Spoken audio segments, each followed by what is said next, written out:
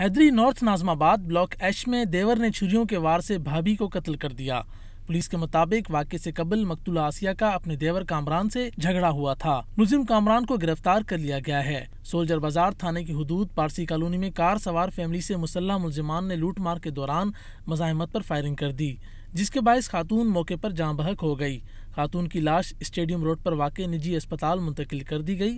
खातून की शिनाख्त पैंतीस साल अम्बरीन के नाम से हुई है। औरंगी पाकिस्तान बाज़ार में पुलिस ने दो जुआरियों को गिरफ़्तार करके रकम बरामद कर ली। उधर ली मार्केट में रिहायशी होटल के कमरे से फंदा लगी लाश मिली है। लाश की शिनाख्त पचास साल सैफुल्ला के नाम से हुई। कैमरामैन सैयद नासिर अली के साथ कमर अली मस्तोई, जियो न्यूज़, कराची।